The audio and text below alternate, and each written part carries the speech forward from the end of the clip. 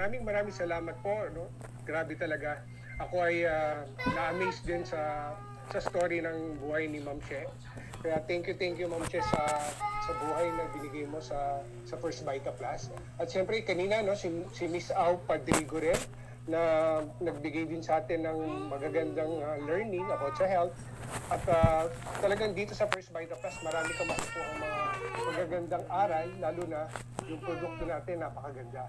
At maraming maraming salamat talaga, Ma'am She, sa, sa pag-guide sa amin. At ah, talagang mula noon hanggang ngayon, Ma'am, hindi nagbabago yung talk mo. Talagang nakakagigil at nakaka-excite talaga. Kaya kami, na mga leaders mo, talagang nahahawa. Hindi kami nagpapaiwan pagdating talaga na kayo yung nagtotalk. Talagang nakaka-inspire po. So sa lahat po ng nakatunin ngayon, bigyan natin ng milyon-milyon palakpak si Ma'am She, ayan, at si, Ma'am, si Miss Ang Padrico.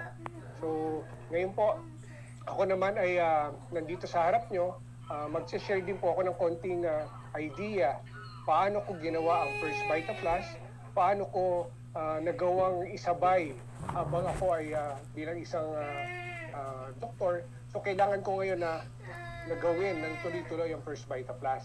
Kaya, ayan po, no? So,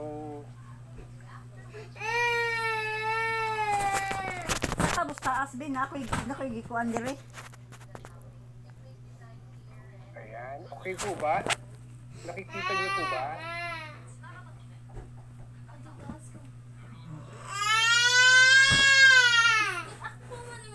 Ayan. So maraming maraming salamat sa, sa lahat po na nakikinig ngayon. Ako naman po ay ah, mabilis lang po ito, mga 5 minutes and 3 hours. okay lang po ba yun? Biro lang po. Ah, ayan, so start ko na po. Great morning po sa inyong lahat. Luzon, Visayas, Mindanao. At hindi lang Mindanao, Luzon, Visayas, Mindanao, kasama rin po natin ang iba't ibang lugar sa buong mundo. Kaya great, great morning po. Una po, magpakilala po sa inyo. Ah, ito po yung aking ah, background. Ako po ay isang Bachelor of Science, major in Zoology, University of the East, Manila. Then ako po ay nag-College of Medicine, so Medicina po, Virgen Milagrosa University Foundation. Yan po ay sa San Carlos City, Pangasinan. Alam ko may mga nakatune ng mga taga Pangasinan ngayon. Then, after one year, kailangan kong mag-clerkship, bumalik po ako ng Manila.